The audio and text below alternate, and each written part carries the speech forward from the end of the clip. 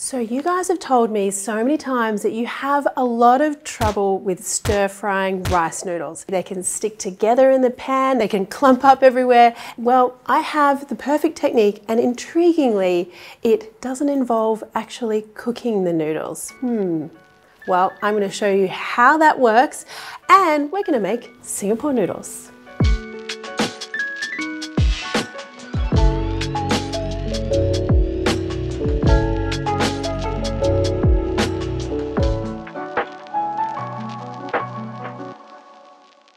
So I'm going to be using my Marion's Kitchen Singapore noodle kit for this recipe. Keep watching even if you can't get a hold of my kit because the technique for actually preparing your vermicelli noodles is usable for any rice noodle dish. So I'm going to grab my noodles out and everything else in the kit. So we've got curry powder, baby corn, Singapore noodle sauce.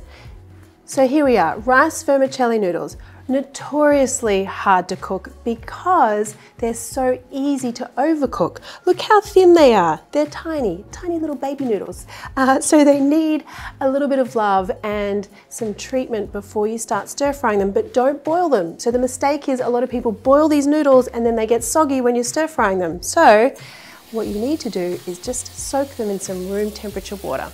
Now I know you're probably thinking, Marion, room temperature water is not going to soften these noodles. Well, come back in 10 minutes and I'll show you. So now for the Singapore noodles stir frying part. What do you call this magical wok? It's called wok. Oh, the wok itself? Funny you asked, Dax. No. this is my Mako wok.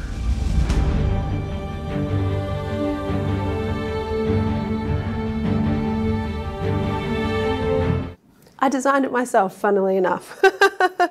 hot wok. Really important so that your ingredients don't stick. Then add the oil and then now stir fry your onion and the curry powder. Now, I know a lot of you can't get a hold of my products. I'm really sorry. It's hard to ship them all over the world because they're food products. Um, but if you can't get a hold of my Singapore noodle kit, you can also use my Singapore noodle recipe from scratch on my website. So head there and check it out if you'd like to. And now I'm gonna do like a protein combo here. I've got Chinese barbecue pork and prawns. Now my prawns have almost cooked through here, so I'm gonna go in with my vegetables. I've got some baby corn, carrot, cabbage, and now to do the omelette part, I'm just gonna simply move all the ingredients to the side. I might just add a little bit more oil here just so my egg can cook nicely. Now I have a really good wok here, which means I'm really confident with making something like an egg omelette in the wok just on the side of my stir fry because my patina and that coating on the wok means that it's, it's a really good non-stick surface. But if you're not so confident with your wok at home or you've got a smaller pan, you could make the omelette first in a separate pan. That's probably the cheats way of doing it or the easy way to do it. So just break that omelette up and mix it through. And now let's come back here and have a look at our noodles because I promised you that your room temperature water would have softened up the noodles. And well, here we go. Just like magic, look at that. So if you had to put these into hot water, these noodles would be really soggy by now before I even get them into the pan. Now, just while my Asian mum is not looking, I'm gonna chop my noodles. Asian folklore says that's very bad luck, but anyway, I'm tempting tempting my Asian ancestors to come after me. just makes it a lot easier to handle noodles when they've just been shortened a little bit. So these softened noodles go straight into my pan. Sauce goes on top.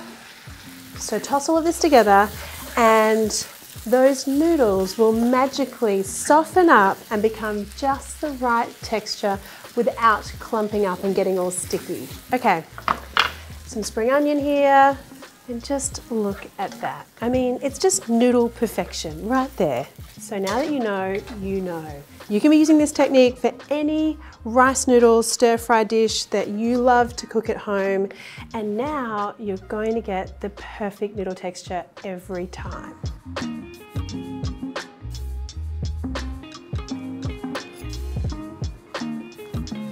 Ah, when you have the perfect noodle texture, it really is just joyful. It's a joyful thing. Oh, so good. Now, if you guys have any other burning cooking questions or problems that you'd love me to solve for you, please let me know in the comments. I'd love to help out. I love making these videos for you guys and I wanna know what it is that you wanna watch. So yeah, help me out, let me know. Hmm.